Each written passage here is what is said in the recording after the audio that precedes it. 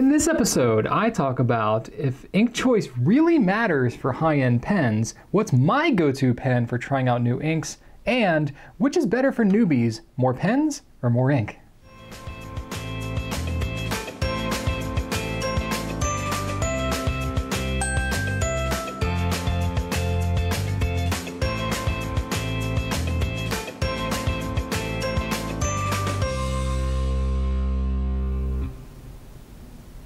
Hey there, Brian Goulet here, gouletpens.com, and it is episode number 154 of Goulet Q&A.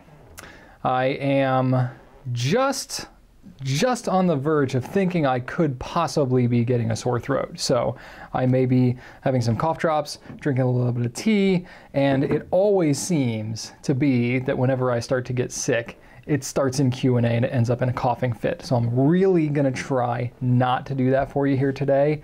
I have been really trying to take care of myself, drinking a lot of fluids, and my whole family's been sick and everybody around me is sick and I'm trying to fight it off but I don't know if I can resist it forever. So if I do have to pause here and there for a sip or a cough drop, that is why. It is for the greater good of the community here.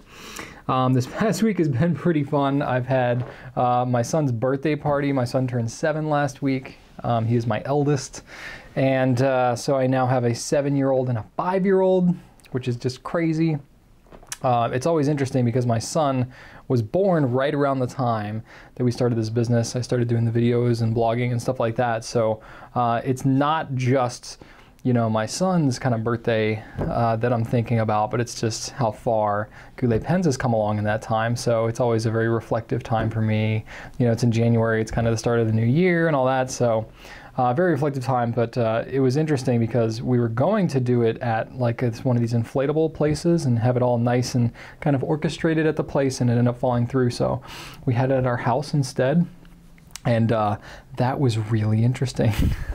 he did have a lot of kids show up. It was only a handful, but still, just a handful of kids was literally quite the handful. So uh, you know, that was uh, Rachel and I are both actually fairly introverted in our personal lives, and so having that many kids to take care of was uh, a bit of an experience, if only for a couple of hours. So I know a lot of you can relate to that. Uh, it was still a lot of fun though, made lots of great memories, uh, but it was very interesting, and we were very ready for when that party was over. Um, let's see here, preparing for new products. You know, we've got some new stuff. Whenever we have the end of the year, beginning of the year is always a little slow to pick up. That's definitely the case this year. We do have some new stuff that's starting to come in though. Um, and we got a lot more new stuff that we're kind of preparing for coming up. So I don't have a lot that's like, yeah, this is coming tomorrow, but uh, I do have a lot of stuff that's going to be coming in February. Um, one new thing that has come in is the Montegrappa Passion. Uh, I am recently infatuated with this pen personally after seeing it on my uh, kind of you know calligrapher idols uh, site, uh, Jake Weidman. So he's a, uh, a big fan, or I'm a big fan of his. Um, he was using this pen. We carry Montegrappa, so I just wanted to carry this specific pen kind of for that reason. But it's a really nice pen. Sterling silver accents. I don't have a lot of pens with sterling silver. I just have a handful. It's a couple of them. Usually they're very expensive. Um, this one, because it's just sterling silver trim, it's not a whole sterling silver pen. It's a little more reasonable. Um, but it's $700, so it is quite a bit. Um, but it's 18 karat nib. It's made of celluloid. Of course, I'm digging the blue. Writes like a dream. So it's definitely a worthwhile pen if you're looking at kind of that Visconti uh, Homo sapiens price range or any of the high-end Pelikans, anything like that. I would strongly urge you consider one of these because it's a pretty decent pen. And we got those now. Um, let's see here. We have some new Monteverde inks that have come in. We're in the process of swabbing those up right now. Some nice colors. The new Montegrappa Sapphire. Right in that blue that I love so much. So that's a nice one. Um, lots of other cool colors. We got some new Robert Oster colors that are coming as well. Um, Robert Oster is a whole new brand we launched this month, but we have even more colors that are coming. Um, so uh, should be kind of exciting there. Um, also, the news is out about the Lamy All Star Pacific, which is the new special edition All Star for 2017. That we are being told is going to be available in the next couple of weeks. I don't have an exact date yet. I haven't gotten a sample yet, which is why we haven't like put it out there on our social media channels. But um, I'm hoping that we can get a sample soon so that we can do our magic. My team can rock it with the pictures and video and uh, we can get something out there for you guys to get you all excited about it. But um, we ordered a lot of them, so I do not anticipate it's going to be a sell out right away situation. We're trying to be there to service you guys in that way. Um, but uh, I'm told mid to late February. Actually, I was told mid February, but just because I haven't heard anything yet, I'm saying mid to late February because I don't know exactly when it's coming. So be on the lookout for that. Um, nice blue color. You know, of course, I love blue, but the, the ocean blue all star is a nice deep kind of royal blue, which I really love. This one is going to be a lighter blue than that, so I think it's going to be really nice. Um, Let's see here. The Monteverde Mountains of the World has come out in two new colors, Everest and Vesuvio, Mount Everest, Mount Vesuvio. Um, so those are pretty cool if you were into that kind of larger pen um, with the big center band on it like the Mountains of the World has. They discontinued two colors and then they um, brought these two new ones in. So it's just kind of a, they're swapping them out, keeping it fresh. Also, Platinum has a 3776 uh, new special edition called the Nice Lilas and uh, it's lilac in French. Um, and I think I'm not that big into pink pens, but this one looks really good. It's pink with rose gold trim. I think it looks really good. It's a pink demo, and I'm really excited about it. So we should have those. The first, I think, 2,000 of them are going to be numbered. After that, they're just going to be regular, uh, you know, no numbering. So those will be coming, and I don't have an exact date for those yet either, but just wanted to get that on your radar. It's going to be a little bit more than the regular 3776s, just like all their special editions are. And then um, we have the Visconti Brunelleschi, which I actually have a sample of it here to show you. It comes in this rather large box in this brown kind of velvety bag with the Visconti logo on it. It takes me a second to get it out of the bag, so I already took it out for you so you didn't have to watch me struggle. It's got the Visconti logo on the top, kind of nice. And then on the inside, it actually has um, uh, a decorative tile that's going to be on the inside here, but that, that wasn't in the sample. It wasn't ready, so I don't have that to show you.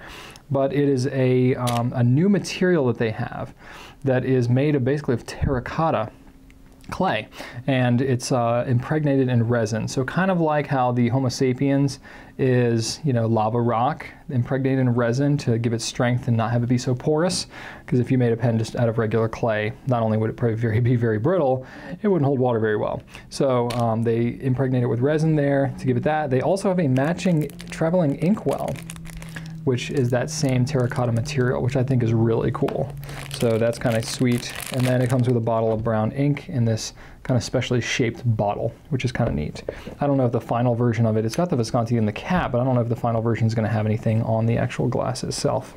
Maybe not. Well, usually when they do ink wells, they don't do any type of like label or anything on there. It's got an eyedropper too, so you can fill your, your traveling ink well. And then the pen itself um, is the oversize one. So if you have the, the larger Visconti Homo sapiens, it's that size. Um, it's got the hook safe lock cap, which I absolutely love. Looks very clean and crisp too. This material just, it cuts into it very nicely. Um, it's a hexagonal shape, sorry, octagonal shape, which I really dig. Um, you don't see that a lot. Very kind, kind of like an Omasy kind of feel, like an homage to the Paragon.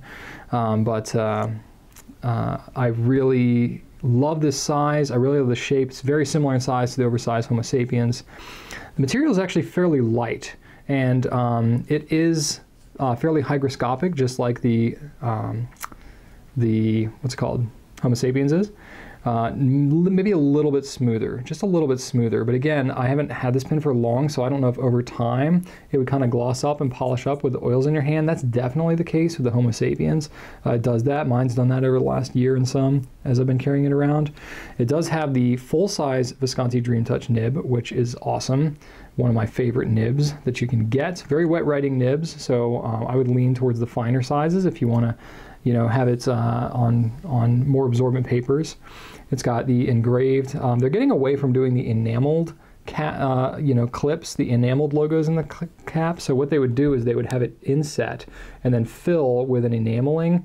But they had a problem with um, being able to do that uh, very consistently. So sometimes there'd be little pockets inside the enameling, and they're getting away from that. So now they're getting more into just etching and engraving into the into the clip itself, which I'm perfectly fine with. Uh, rose gold trim, a two-tone nib, and then it's got the um, power filler as well. So slightly larger ink capacity than the piston and uh, it's a really kind of a cool filling mechanism. So um, the pen is definitely more in the kind of like you know, exclusive price range. Um, it's an MSRP of $995. Um, of course, you can log into your Goulet Pens account to see what our price is.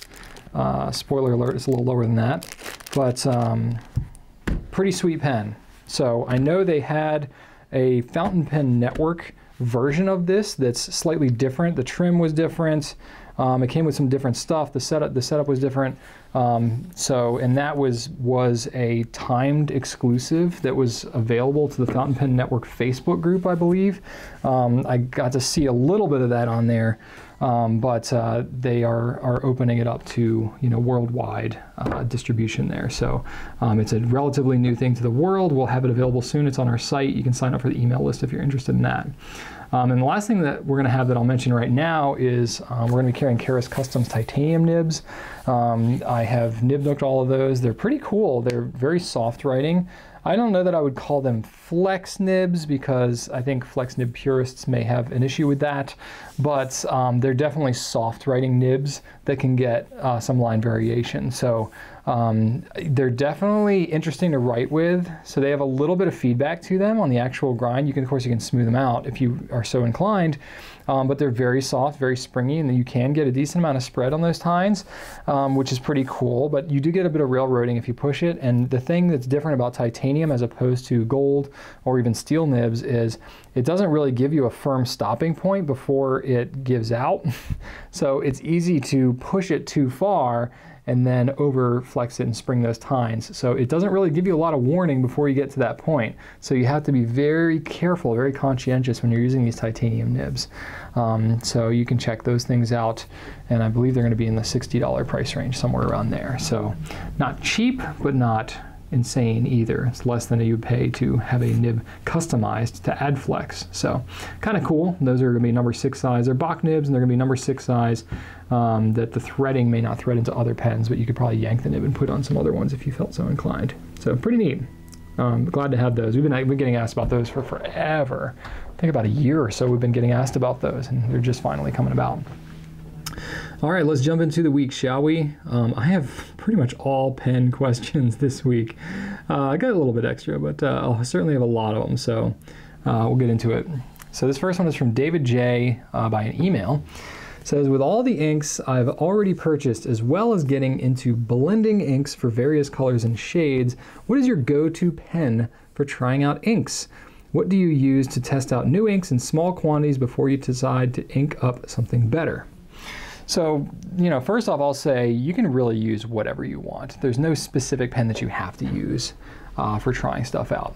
Um, I usually, well, it depends. It depends if I'm doing it purely for the intention of trying out the ink. If I'm excited, I have a new ink, and I really want to just get into it, I'll just put it in whatever pen that I like that I kind of regularly use that I have handy, that's clean and empty. Um, when I'm testing out several inks kind of back to back, um, my go-to is a Lamy, either an All-Star or a Vista. Um, and the reason that I like these ones specifically, it's kind of it's kind of intentional. I'll use the All-Star here because it's blue and I like blue. So the thing that I like about it, a couple different things. One is that it has this smoky kind of demonstrator grip section. The reason that I like that is because if I'm testing a small amount of ink, I like being able to use a converter and I suck just a little bit of ink up into here and I only suck up enough to fill the feed. I don't use it so that it fills the converter. And that's intentional because if I'm going to be cleaning it out and trying something else, I don't want to have to clean out the converter if I don't have to. And if I do it right, I can do it to where I never even get ink into the converter. It only gets in the grip section. So that's one less thing to clean out, which is kind of cool, right? Uh, and then the other thing that I like about it is it's really easy to clean out. So I just use a bulb syringe, which I meant to pull ahead of time, and now I've got to go searching for it. Here we go. Just the blue bulb syringe, one of the best tricks I've ever found in the fountain pen world. Stick it right on there, flush it out, and then that's it. If the converter, I don't even get the converter dirty, literally just take some water, flush it out, take a paper towel, take it to the nib, soak up the excess from the feed. I can put the converter back on and go to my next ink. It's better than just dip testing it because it's actually flowing the ink through the feed and it's very easy to clean out so I can quickly go on to the next one. Another thing I really like about Lamy specifically is I have a slew of their nibs and you can just slide them right off. Sometimes it takes a piece of scotch tape or something to it to really get a grip on it. This one is, uh, I've done it a bunch of times so it, it comes off a little easier now. Um, but I can swap in between nibs so I can actually keep it inked up, swap the nibs out you know, go from say a fine to a 1.1 or something like that. And I don't have to change anything and I get a different writing experience just from swapping that nib out. It's also very easy nibs to clean. So that's really pretty cool. I like doing that a lot as well. So um, you can do the same thing with the Vista if you don't have an All-Star. The Vista, you know, has a clear grip as well. That's why I specifically point out the Vista. Of course, you can do that with really any pen, but this one is one that I've honed over the years as to being a really good ink testing pen of course, you can always use a glass pen. Um, it's a little bit different. They tend to write a little bit wetter and maybe don't have quite as consistent of an experience. The, the flow and all that won't be the same, but you'll get an idea of what it looks like on the paper. So, and they're super easy to clean, so that's really good.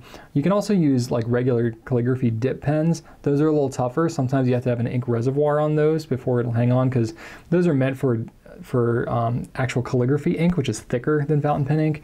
So you have to have some kind of ink reservoir or something on it so that the ink will actually stay on the nib and you can write with it. But I, have been able to make those work too. Um, I just don't like that quite as much as going with an actual pen. So that's what I uh, tend to lean towards there. And I'm trying to think if I thought of anything last night as I was prepping this.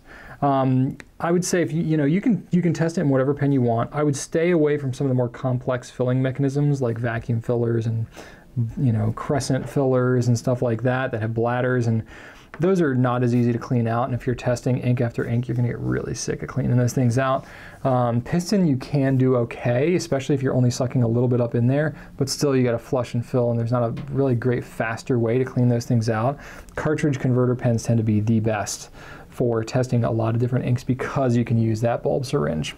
So that's my big, big secret when testing out different inks. Cool. Hopefully that helps you out. Take a little sip of tea here. Hmm. I've really been getting into tea more lately. I've been trying to lose weight and uh, I have been successfully doing so. I plateaued the last couple of weeks. I'm at about 220 now. I was 235 at the beginning of the year. So I've lost 15 pounds in a month. It's pretty respectable, pretty aggressive uh, diet and exercise regimen routine that I've been on, but uh, not too bad. Go ahead and pop a cough drop just preemptively because I don't want to get into a coughing fit with you guys. When you talk continuously like this for an hour straight, you'd be surprised at how much you can make yourself cough. Anyway, all right, this next question is from Marino, uh, e, Marino on YouTube. Uh, sorry about that. I know I botched your name. Uh, what is more important at the beginning? Have a great variety of inks or pens? Okay. I think this is a really great question, especially for you know new people who are getting into fountain pens. Um, a lot of times the pens can be a big draw, right? Like the pens are like the, the car, you know, and the ink is like, I don't know, the paint on the car or something. I don't know. That's a terrible analogy. Don't go with that one. Uh, I'm just being honest. So my brain's a little foggy. I'm not at my, my peak today, but you're going to get it anyway because this is what we do here. Um, so from my background, I did not have a lot of fountain pen experience um, coming into the fountain pen world. Of course, I thought fountain pens were very appealing, um, but I also had no money. So the idea of buying a $700 pen was, I didn't even want to see it. I was like, I don't even want to hear about this pen because I can't have it. So why do I even want to know about it? Because I just, it's just telling me something that I'm gonna get excited about that I can't have. So I never got into any of the expensive pens in the beginning. I would look into things like the Lamys, like the Lamy All-Stars and Vistas were aspirational for me in the beginning. Um, I think some of the first pens I bought, I bought a Kaweco Classic Sport, I bought a Lamy Joy, a Pelikan Script, so I was very much shopping in that 10 to $30 price range, pretty hard.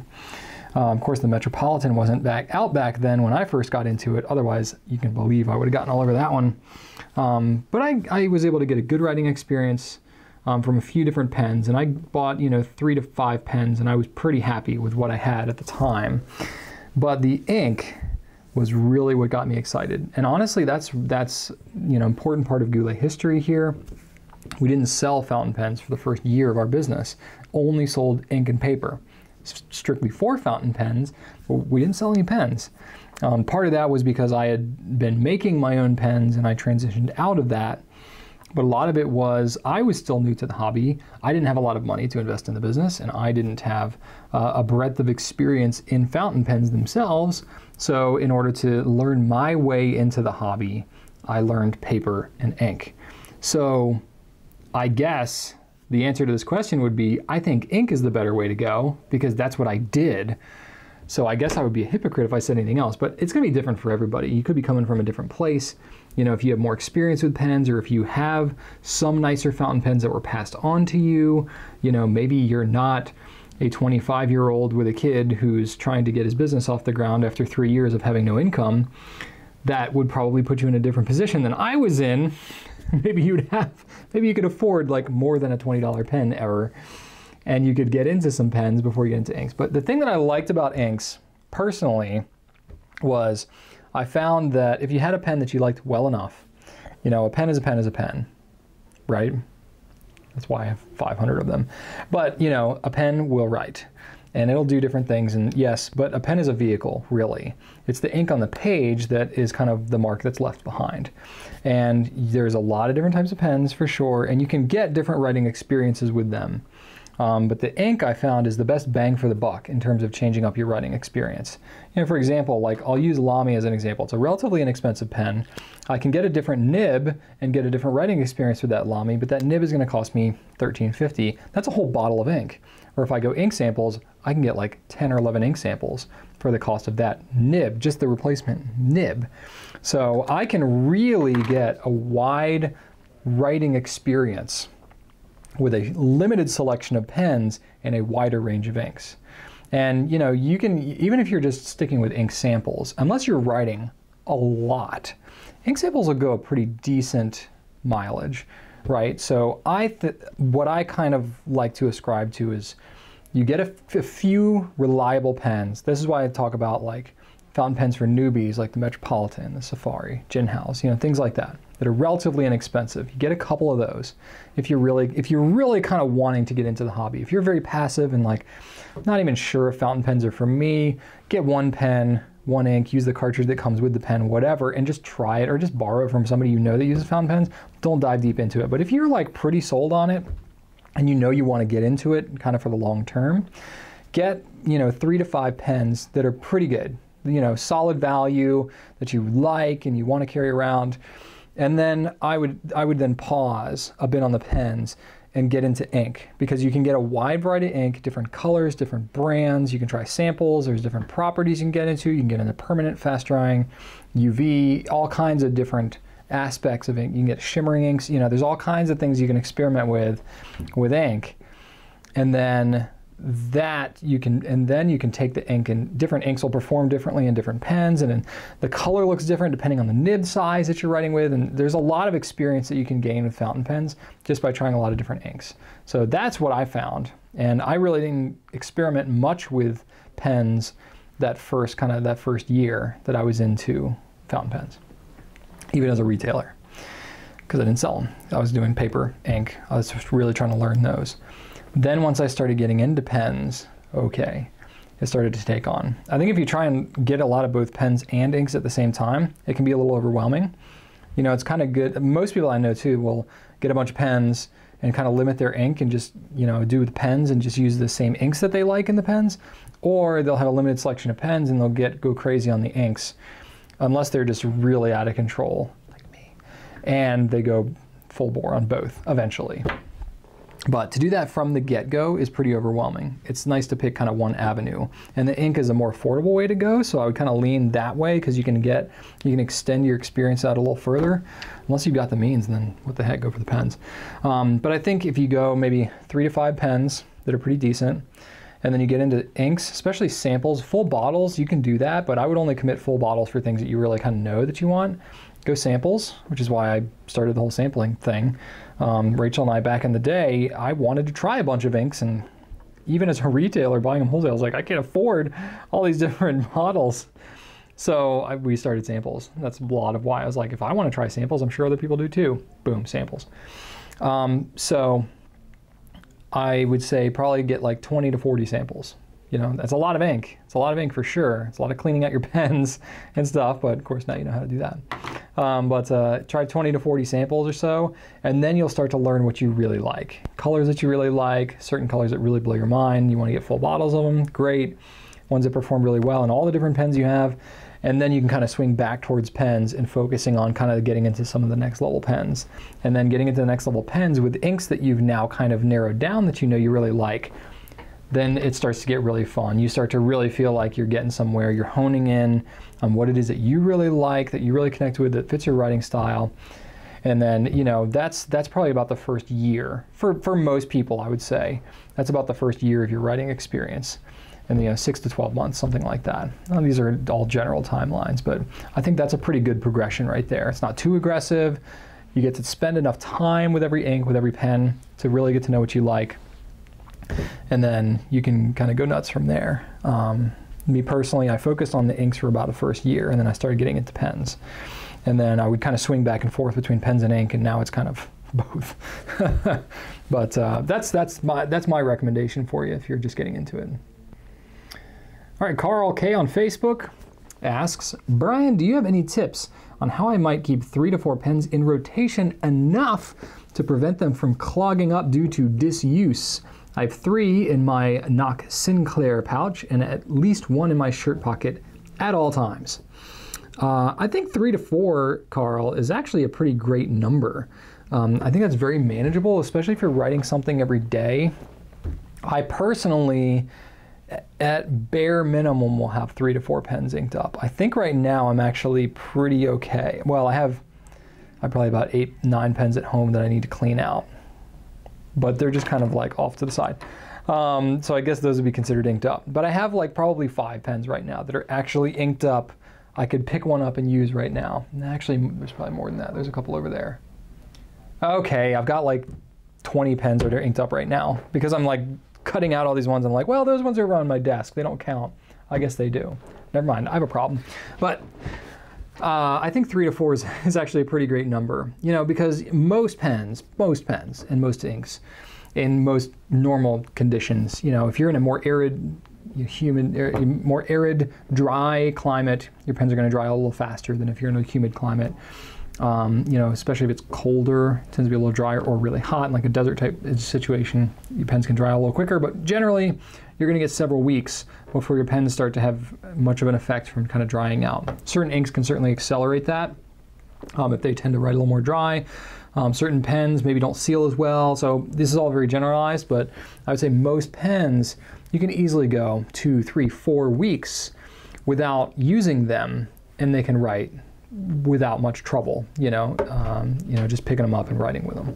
So I don't know that you need to really do anything special if you're carrying around three to four pens, other than just kind of mix them up a little bit, even if you write with it once a week, then you should be okay. That should be enough to kind of keep it going. If you do find that your pen has dried up a little bit, like usually what's going to happen, it's going to dry up on the nib, and then the ink inside will still be fine. You know, you'll have a little, you know, maybe have a converter or something like that, and then you'll have the nib that's dried out a little bit if you haven't used it for a few weeks. Getting that started again is not, not very difficult, um, especially if you have a converter.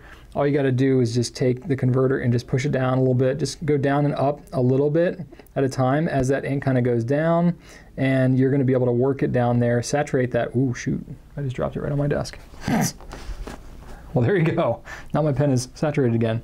Um, maybe don't do that right on your desk. I'm glad my computer wasn't there. Sheesh. Anyway, you'd think I'd know better by now. Now my feed is saturated and I'm gonna be good to go. Um, another thing that you can do is if you have a little cup of water or if you're at the sink or something, you gotta be careful at the sink because it could splash, but um, just getting it wet will get it flowing again. Of course, if, it, if you get it wet, you know, wipe it off with a towel or something because it'll be a little desaturated at that point because you're putting straight water on there.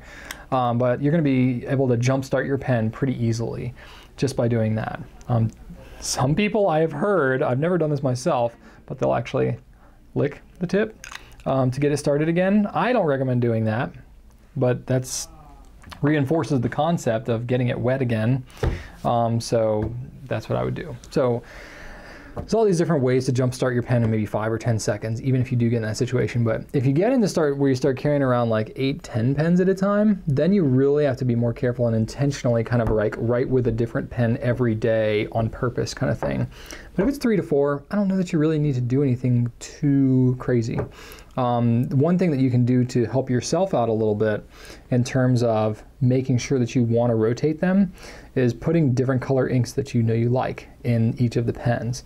That way, if you're like me and you write with one ink for like a couple of days, you're like, nah, I kind of want something different. Then you can pull out the next pen and be like, ooh, this ink is cool.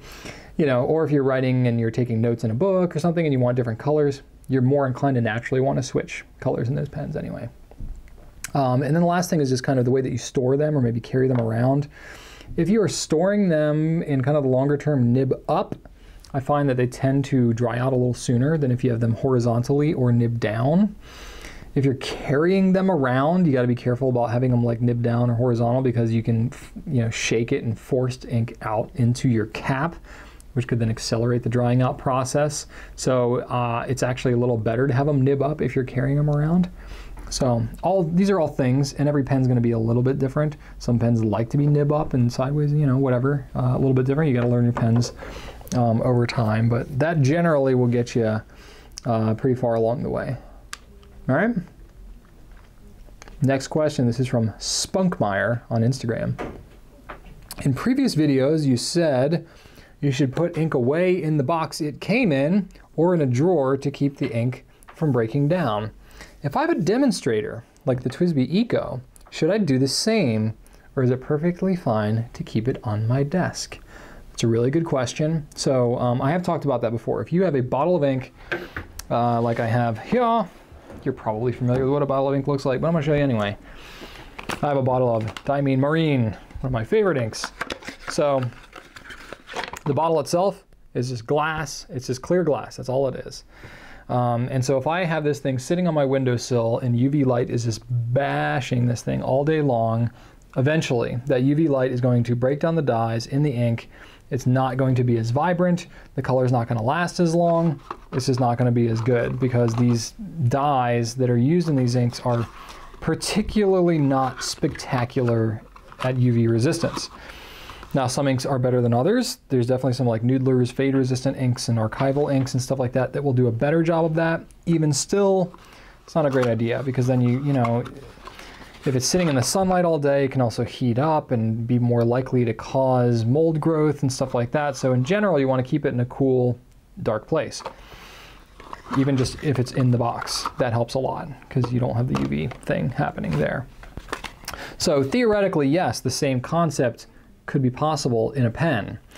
The thing is, though, if you think about the ink that's in a pen, you know, talking like maybe a milliliter or a little bit more in a pen like this, how long is that really likely to hang around inside this pen? You know, a week, a couple of weeks, something like that.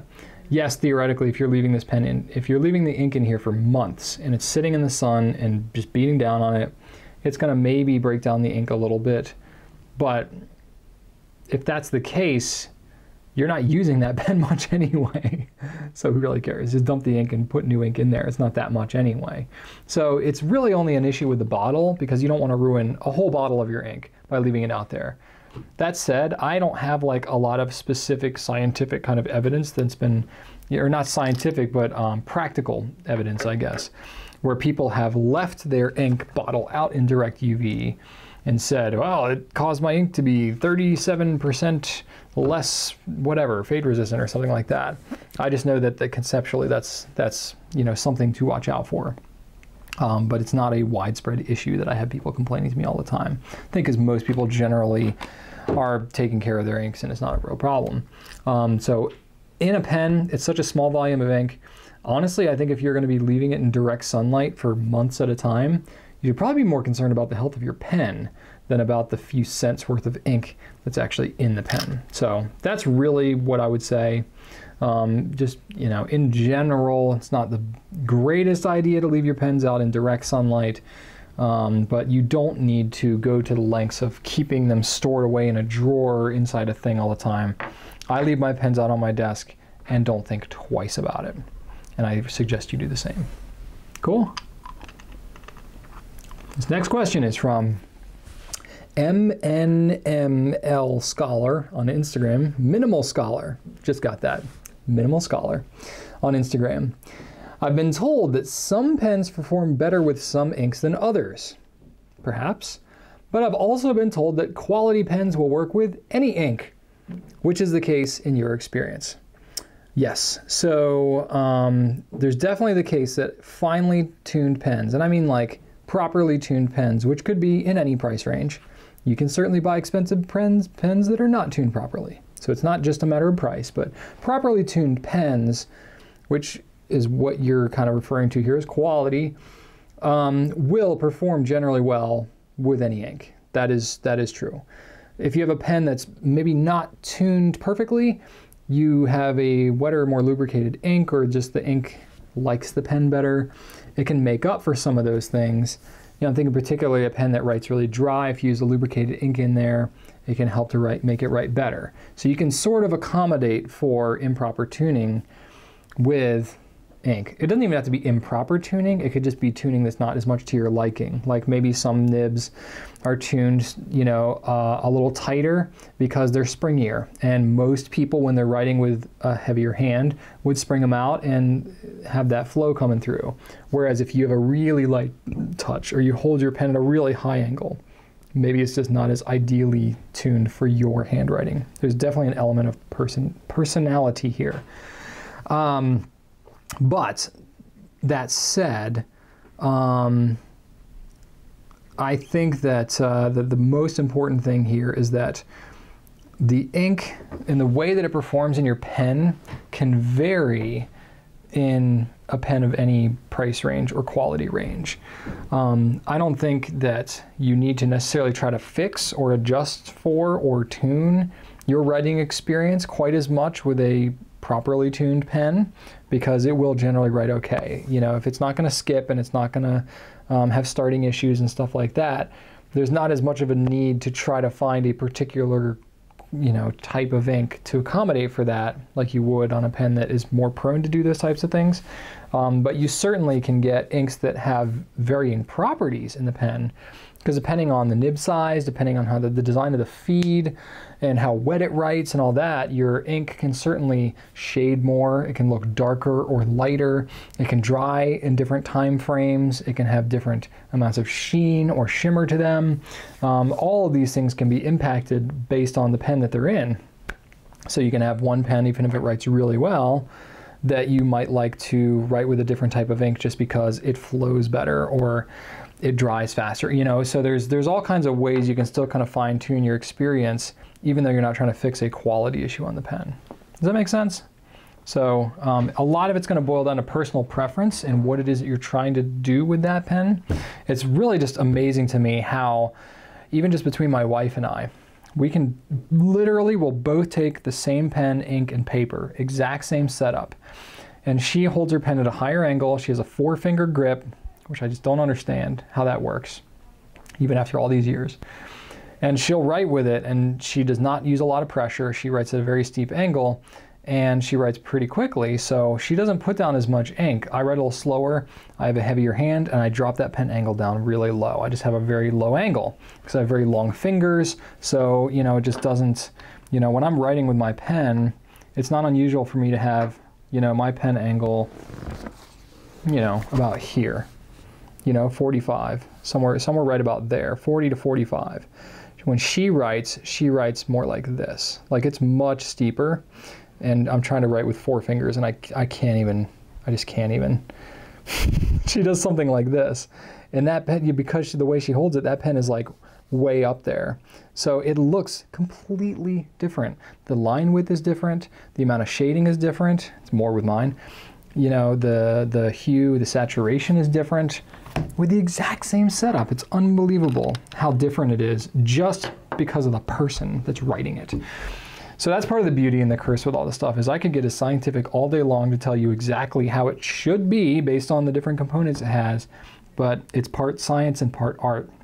And the art is how you are writing with it.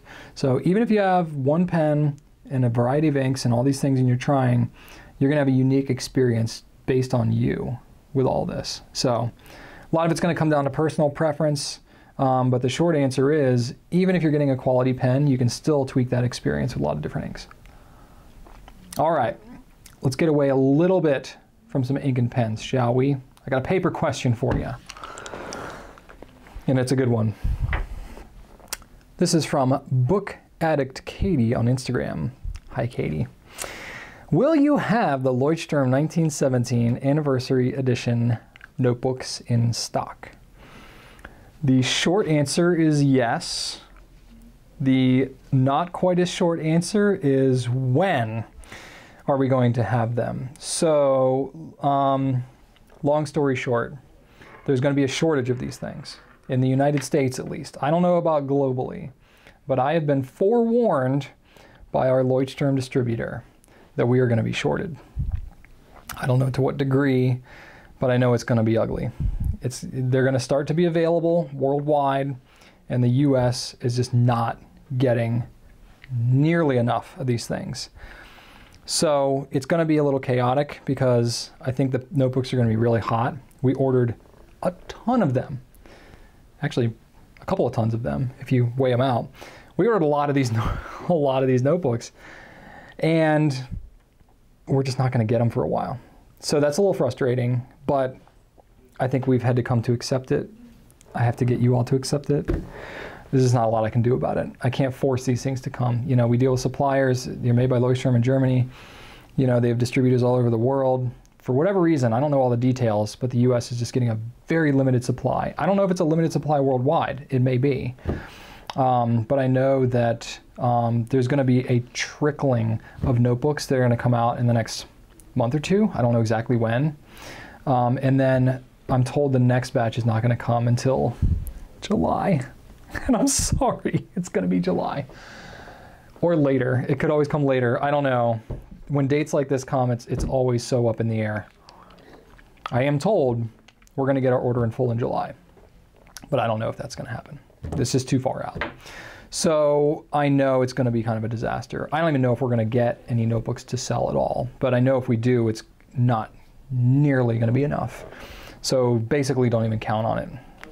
It's not. It's not just us. It's going to be pretty much every U.S. retailer, uh, from what I understand, is going to be severely shorted. So these things are going to be. They're going to come. They're going to be available for like a second, and then you're not going to be able to find them until July. So that really stinks, and there's just no way to sugarcoat it. I have. I don't know all the details why. Um, but I know that's the situation that we're facing. So, as much as it stinks, we're, we're still going to talk about it a little bit. Um, but I'm not going to promote these things very heavily right now because we're not going to have any notebooks to sell. So, and that would just make a lot of people mad because they're, they're really exciting and a lot of people want to see these sweet metallic notebooks, but I'm just not going to have any. So, that said, um, we're still going to put them up on our site eventually. Um, we don't even have any right now. I'm hoping we can get some to at least photograph. um, but we are going to, um, you know, get them on our site so that when the time comes in July, you can be email notified as to exactly when they come. And I think once we know that they are actually coming, we're going to look to promote them and stuff like that. So we're going to try to like, you know, do our own thing on them, maybe get them in the hands of some bloggers and stuff if we can um, in due time. But it's just not going to be a big push for these in the near term because we're not going to have any notebooks. So um, once I get them in person, maybe I can show it off. Maybe I'll show it off in a little Q and A. But it's we're going to be we're going to be a little quiet about it just because um, we don't want to make everybody all mad that we don't have notebooks. And that's where we're at. That's how it goes sometimes in the fountain pen and notebook retailing world. Sometimes we get shorted on stock, and we can't do anything about it. But it'll come, all in due time, all in due time. Next question. This is troubleshooting from Nicholas Cruz on Instagram. Nicholas asks, I get a lot of condensation in my TWSBI cap. Is that from temperature change or something else? Is there a way to stop it? So, I have a TWSBI Eco. I don't know if that's what you're dealing with, but that's what I have in my possession. A lot of the TWSBI pens, you know, have you know clear caps, so you could be talking about anything. Um, this condensation that you're talking about happens on a lot of different pens. It is not anything specific to the TWSBI. Um, temperature change could be a part of it, um, but really what's happening is you have a pen that is filled with ink. You have a nib, which is, for all intents and purposes, open to the atmosphere. And you're taking it and putting it inside a cap and you're sealing it off. So all the ink that's in here, it's evaporating. The water is evaporating out of the ink and it wants to go somewhere. You know, you have a very wet, moist environment inside the bottom of your pen, very arid, dry environment up here in your cap, and it wants to equalize. So what happens? The water vapor kind of, you know, water evaporates out of the, the ink, and it just hangs out and it clings to the side of the cap. And that's it. It'll do it to a point, and then it'll stop because it'll equalize, and that's about all you got. Um, but you know, especially if you're carrying the pen around, you can get little drips of ink and stuff like that that'll get in there. This is my Pilot Custom 74, my personal one, and let me try to zoom in here, see if I can show you what's going on. But I definitely have some some pretty serious. It's kind of dark, isn't it? Hmm. It's kind of hard to see. But I'll see if I can show you kind of what I've got going on here. A little bit. Uh, kind of. You can kind of see it in there. Maybe not. Huh. Let me see if I can use my, uh, I've never tried this before, LED on my phone. There we go. Oh yeah. You see that ink in there? Some condensation up in here? Yes. So it's not uncommon. That's not a TWSBI. I have a Conklin as well. This one has got some pretty serious uh, condensation stuff going on here. I don't even know if I need the light for that one. Look at that. It's just like straight up water in the cap there. So it's not unusual at all Oh boy, that's like too much. No. Woo, sorry, blinding you. All right, so it's not unusual at all. It actually happens on all kinds of pens, not even just clear pens. Oh, how about I zoom out so you can see more than my mouth? It happens on all kinds of pens. It's not anything to sweat too much. It's not really hurting anything. Um, is there anything you can do to prevent it? Not really. If there is, I haven't discovered it. So I don't know that there is. I wouldn't really sweat it too much. Um, it's just kind of how it is. It's definitely higher maintenance to have a perfectly clear and nice looking demonstrator because you're dealing with ink and it's just going to get places. Um, the one thing I will say about the TWSBI pens, it's really nice. This is an Eco, but um, this works for all the other TWSBIs too. If you take a pencil and you wrap a rubber band over the edge of it like this, like take the rubber band kind of long ways and wrap it across the end of the pencil, and you can stick it inside your cap into that cap insert and thing will pop right out. And then you can get in there and you can clean it out really thoroughly. Um, just, you know, a Q-tip, get in there, wet the Q-tip a little bit sometimes will help too because otherwise you might just smear the ink around. You can clean out the inside of the insert. You don't even have to take the insert out if you don't want to. Um, now I'm going to put it back in there. With the Eco, it's got like this little notch in here. It's got a fitter on the, the clip hold. There we go beautiful. Um, but a Q-tip, most of the time, you just swab it out, and then you're good to go. And you're good for a few days. It's not the end of the world. But I understand, you know, some people get really particular when it comes to keeping their demonstrators looking really perfect. And that's fine. Um, you just got to do a little maintenance to make that happen. You know, you're carrying it around, it's a wet environment in there, and you're just going to get some condensation. So that's pretty much what I have to say about that.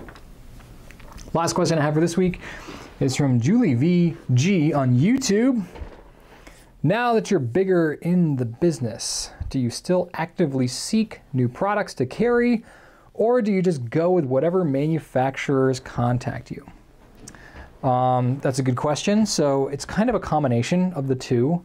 So um, the manufacturers that we get contacted from the most are the ones who we're already doing business with. You know, for example, uh, Lamy. Lamy, they come out with new pens. Lately, they've been coming out with new pens every year, multiple pens every year. That's been great. Um, we all love it. We all get excited. So we have a good relationship with a rep that we have that works at Lamy, and uh, they tell us, hey, this new pen, Lamy Pacific, is coming out. It's pretty exciting. When's it coming? Blah, blah, blah, blah. We start that whole conversation. Um, that's pretty easy because we know that everybody's going to want that one. Um, it's a little more difficult when we get, uh, you know, for example, Montegrappa. Use Montegrappa as an example. So they have a lot of pens. A lot of are high-end, limited edition pens, ones that we aren't quite selling as regularly yet. Um, so when they come out with a pen like the Passion, they gave this to me, um, samples of this, back in November when it first came out. Um, and at the time, we were completely booked for the holidays. We had no time to spare. And as much as I loved the pen, the rest of the team was like, I don't know that we have the time to devote to showing off this beautiful pen.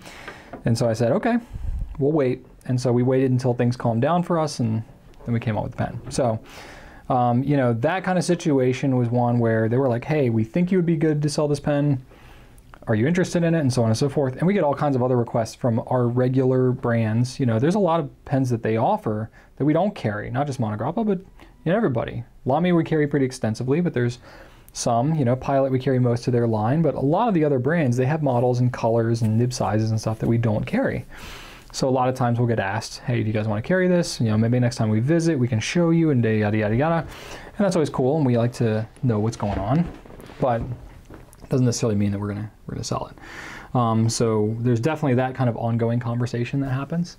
Um, and then the other situation is we get contacted from people that we don't previously have a business relationship with. Um, you know, for example, uh, Nock, you know, before we were carrying Nock, or Karas Kustoms, or Tactile Turn, or any of the brands that we, you know, have started to carry, and it's like a whole new brand. Um, you know, when we first made contact with Nock, um, we were aware of them for a while. Customers were asking us for them like crazy. So um, I think we actually approached them first and we're like, hey, our customers are asking about it like crazy. Are you guys ever going to retail your stuff instead of selling direct? This was like two years ago. And uh, they were like, yeah, I think we might be interested in that. We're not sure. We're not quite ready, yada, yada, yada. So we kind of kept that conversation going for a long time. And then eventually, when they became ready, great, ready to rock and roll.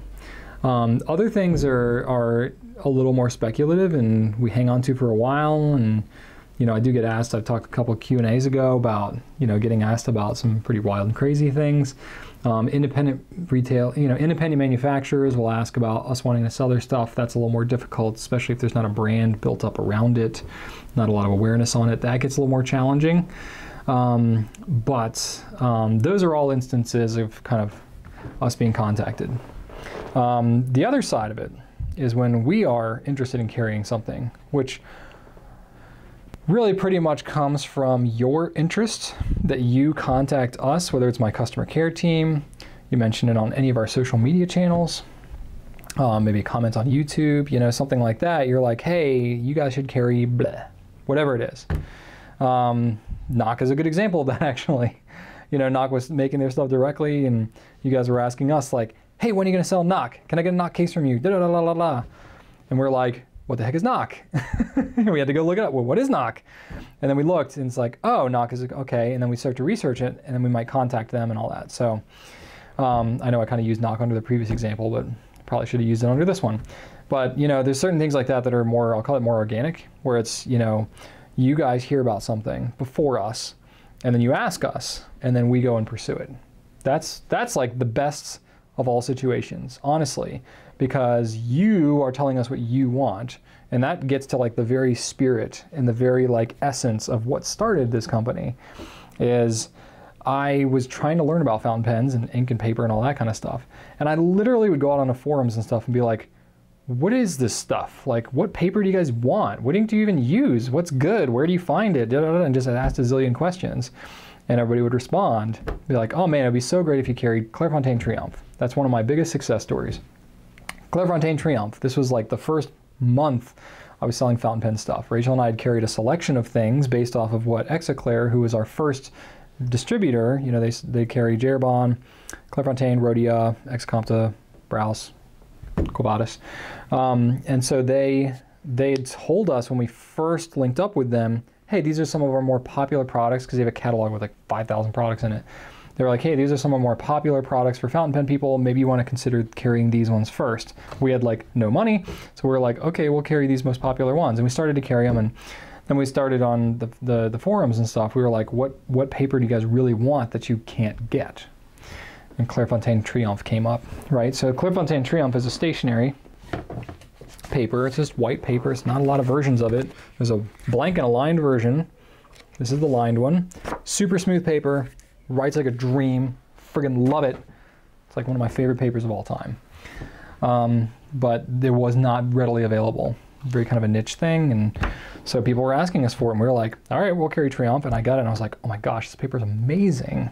So then we've been carrying Clairefontaine Triumph now for over seven years, and it's a very popular product. You know, a lot of people wanted it and used it, and then talked about it and kept using it, and so that's a really good success story, story of like, you know, something that we pursued, you know, based off of your feedback a lot of times it's either coming from your feedback or it's coming from us just kind of being on social media or just being aware of what's going on in the community and we'll find something and we're like, ooh, people are to like that.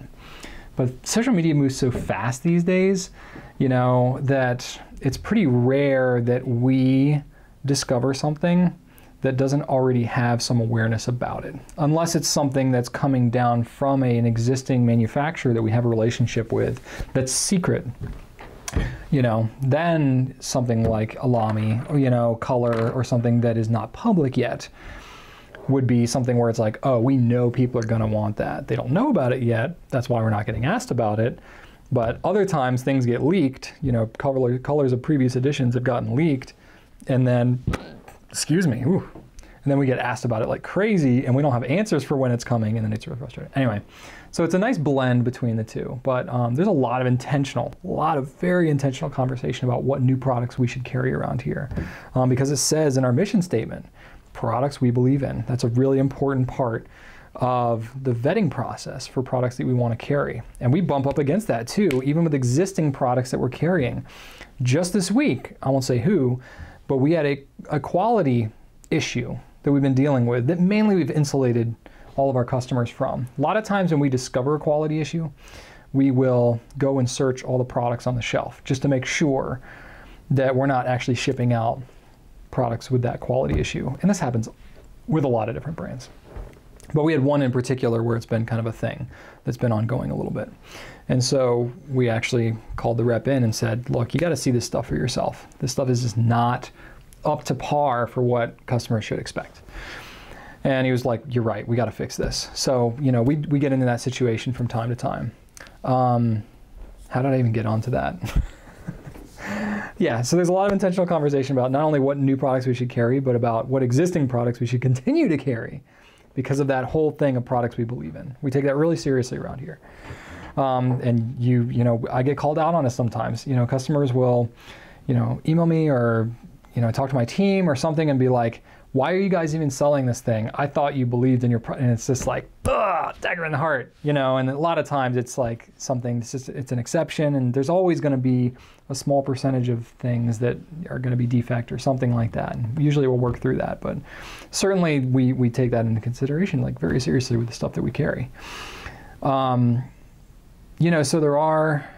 Um, let's see here. I made some notes here. Um, you know, there's definitely like some brands that we pursue, especially ones that aren't staples in the fountain pen world. Um, things like sealing wax, like Atelier Gargoyle sealing wax or Cursive Logic when that kind of first came out. Um, a lot of notebook brands. They might be kind of tangential to the fountain pen world, you know, kind of overlap a little bit. If it's a Venn diagram, you know, it's a little sliver that overlaps, but it's not as much of a foothold as a new Lamy AL-star Safari color. You know, those are very obvious. A new Noodler's color that comes out obviously. Edelstein Ink of the Year, whatever. You know, that's all very pivotal, like obvious, we're going to carry that. But a lot of other times it's like not quite as obvious, you know? So we have to go and pursue that stuff a little more just because the people that are looking for, you know, certain things, Leuchtturm now, now is much more known in the fountain pen community. Two and a half years ago, when we first started carrying Leuchtturm, no one really knew about it and we pursued it. And so we thought it would be something that would be good for the fountain pen community, and we had a bit of foresight on that. It really has caught steam in the last year. But, um, you know, new Leuchtturm products that came out two and a half years ago, we would not be getting asked about them. Now, even in this very Q&A, we are. So things change. So we have to, we have to kind of keep that on our radar. Um, the brands we regularly carry, you know, um, we're much more aware of that stuff. New new stuff from Pilot and Lamy and Noodlers and all that. Um, our our bigger brands, Visconti, things like that. Um, you know, we'll we'll be up on those pretty pretty much already. Um, so a lot of times, so I'll talk to you about a little bit about what our process is when we have new products that we're considering, because I think it's pretty interesting and um, it's kind of more involved than you probably even realize. It's not just me and Rachel are like, oh, this is fun, let's do this. Even for something like the Passion, we're like, I really, I really kind of wanted to carry this pen. Um, I still have to kind of vet it through other people because it's not we're not the sole decision makers anymore. As part of having a company with you know 40 people in it, and you make sure that you don't dictate things that happen. There has to be some consensus and checks and balances, and sometimes you know. Um, so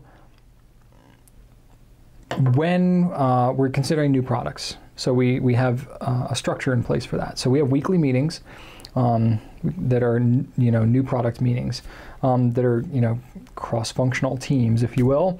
So we have people representing from media, customer care, um, myself, Rachel, our inventory team. Really, a lot of representation from the whole company when we're looking to carry any new product. Um, there's a lot of different factors that go into it. What's the price? How many do we think we're going to sell? What's the timing? When's it coming out? Is, what's, is it different enough? Is it unique? Is there demand? Are there any expected quality issues? Yada, yada, yada, yada. Are there supply issues that we're expecting? You know, what else is going on in the company? Can we handle it? What's our workload? What's our cash position? All these things are talked about when we're talking about new products. Um, it's not simply, oh, there's a new pen, of course we're going to carry it. Um, especially because we run our company with no debt. So we're not out there just like, oh, extend the credit line. Sure, whatever, we'll get 10,000 pens, no problem. It's literally like, no, if we want to get this, we're going to have to give something else up. So it's got to be really important, you know? So a lot of times time is our constraint, sometimes it's money, sometimes it's, you know, other things. Um, but all that comes into conversation in those weekly meetings. Um, and then a lot of times we'll try to get samples ahead of time. You know, um, for example, I got the Brunelleschi right here um, the Visconti Brunelleschi. That's a sample that we got. We haven't gotten the official pens yet, but I got a sample. On Passion, we got samples ahead of time. A lot of these we'll get samples. And, you know, if it's a new color of a pen like a Lamy Safari that, or an AL-star, it's like, I know how that pen's going to perform. It's just a new color. Other things, if it's a whole new pen like the Passion, it's like, all right, it says celluloid, sterling silver. What is it actually? You know, I need to hold it in my hand. And I get in my hand, I'm like, ooh, yeah, then I get excited about it. The team gets excited about it. So I'll look at it. The team will look at it. We'll pass it around. If we do right with it, we'll get we'll kind of like see have it pass a litmus test within our company. If like if we can get excited about it, that's a really good sign. If we get in, we're kind of like, eh, I don't really know. It's not really for me. And that might be a couple of people might be like, nah, Passion really isn't for me. And other people are like, oh my gosh. You know, that's a good sign. The oh my gosh factor. Um, and then we'll um, we'll kind of pass it around, test it out, kind of see how everybody feels. Um, we also have a uh, Slack channel, so we use Slack inside our company. Um, we have a Slack channel for new product suggestions. So especially our customer care, um, really anybody on our team can add on there, but customer care uh, and media, especially because they're the ones talking to you guys the most. Um, we will have a channel where everybody will just put down what's being recommended. And the nice thing about that is, you know, between those two teams, and you know other various people, we might have 20 people that are talking to customers on a daily basis and getting all kinds of recommendations. So they're kind of vetting and seeing what's good, and we can kind of see if there's trends of things that are being talked about across the whole company. Um, so that's really nice. It can get things on our radar that maybe would fly off otherwise. Or if we put something on there and be like, oh man, people are crazy over this, and be like, no, other people are like, blah, blah, no, and then we can kind of like vet it a little bit there before we even get further down the road. Um, so it's kind of cool. You know, we have a lot of ways that we uh, we talk about that stuff. And of course, we're talking about fountain pen stuff all the time around here, anyways. It's kind of in our lingo. Um, so between you know the Slack channel that we keep here, being in touch with you guys every single day on all these different places, having internal meetings, communication about it, um, and then having regular contact with our sales reps and people who are uh, representing the brands that we have. Um, it keeps us pretty tight in, in with the new products that are coming out. Um, and then, um, yeah, then just, you know, other things that we might happen to stumble across, you know, Kickstarters or uh, other things like that that might be a little more on the fringes. We'll just kind of explore, you know, through our own, just kind of searching through social media, and we might put kind of feelers out there um, just about things. You know, well, um, you know, Tactile Turn and Karas Kustoms was that way. Uh, Nock was that way. They started selling just initially, and it was like, hey, if you guys are interested in the future to sell these things, let us know. And, you know, a year or two goes by and then they get to that point and great, it works out. Um, so we're always kind of have our, our radar up about new products. Um, but to answer your question in one sentence, um, we do it all. We do it all because we love new products and we want to carry the best stuff for you guys. So we'll pursue it in whatever way we can. Cool? All right. Question of the week for this week. Um, this has to do with uh, being new into the fountain pen hobby. So I've kind of told you my background earlier in this question. Uh, I'm very curious to know for you, what has been your approach getting into the fountain pen hobby? Did you go more heavily into pens or were you more attracted to the ink? Maybe you're in it right now. Maybe you're looking to get into the fountain pen hobby and you want to talk about the approach you might take. Maybe you it's been 20 years and you don't even remember. But I'm curious to hear kind of what your story is because I think it's really fascinating. Um, that's all I got for you this week. Uh, thanks for tuning in on Q&A. Had a good time. Look at that. Didn't even have a coughing fit. Adequately prepared, set you up for it, but ended up turning out okay. So it all worked out. Really appreciate you hanging out with me today. This has been fun. Uh, be sure to subscribe to our YouTube channel if you haven't already. You can check out some of what I talked about here on gouletpens.com. And uh, I hope to join you again next week. Thanks so much for watching, and right on.